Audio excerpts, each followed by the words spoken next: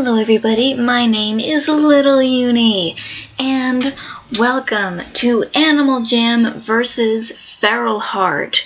Just a few minutes ago I uploaded a different video, Animal Jam vs. Minecraft, and Animal Jam won.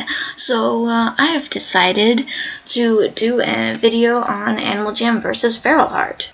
So very few people who are subscribed to me know what Feral Heart is. It's actually a really fun roleplay and chatting game.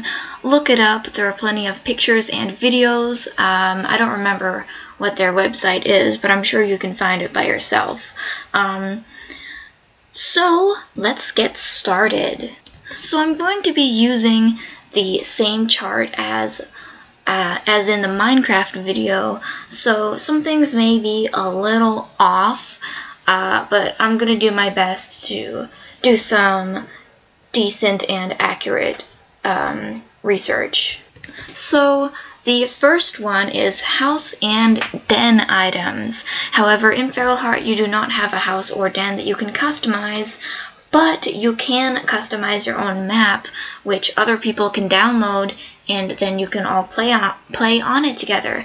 However, I think I'm going to give this point to Animal Jam because in order to have other people play in your customized place, uh, they have to download it off of somewhere, so you won't get very much publicity. So Animal Jam gets this point. The next one is customization. Uh, so with this one, I'm going to be going with animal customization. Uh, with Feral Heart, you have more customization to your collars, and you can have wings and fly around. Uh, in Animal Jam, you don't really have that much uh, color customization, but you can dress up your animal.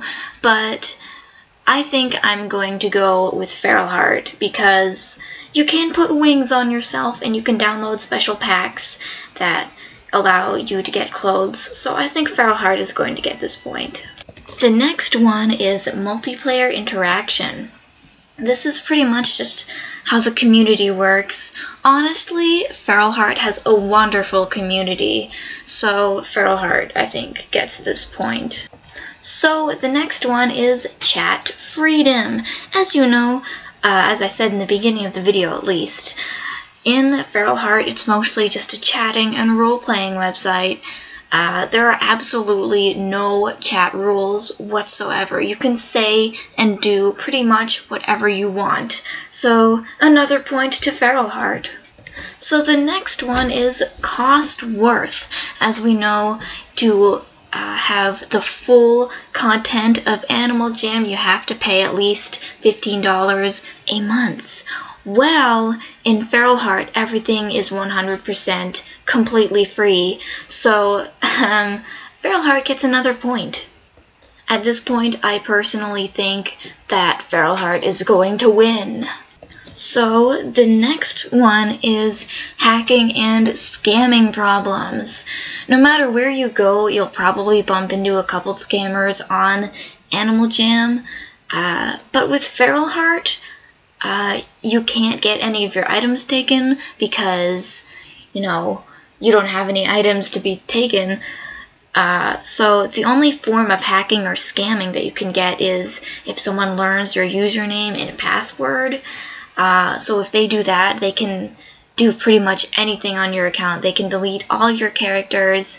They can change all your characters.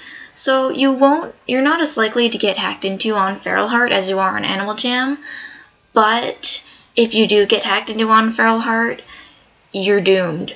So this is a really difficult uh, point to give. So I think neither of them are going to get a point because I feel like that Feral Heart is getting way too many points right now and I want this to be a fair game so no one gets a point in this one. Okay, so the last one is kid friendly. How kid friendly is Feral Heart, you may ask? Well, considering there are absolutely no chat rules, uh, you could bump into people talking about pretty much anything. So, Uh, this is pretty uh, difficult actually because it depends on what kind of people or what kind of room you're in in Feral Heart. But I think Animal Jam deserves this point because there are actually chat rules on Animal Jam, so you're more likely. So if you're like walking around trying to have a decent conversation about like tea or something, you're probably better off going on Animal Jam for that.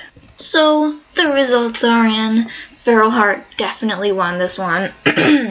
Feral Heart won by two points. Um, so statistically, Feral Heart is better than Animal Jam. Um, but it definitely is not for everyone. Uh, other than talking to other people and role playing, there's pretty much nothing to do there. so, yes. So, uh, blah blah. I'm a vampire. Blah blah blah blah. Um, which game? Well, if you are a player of both Animal Jam and Feral Heart, which game do you think is better? Um, so comment down below what your opinion is. I hope you all have a wonderful day, and I hope to see you in the comments in one of my videos. Bye bye.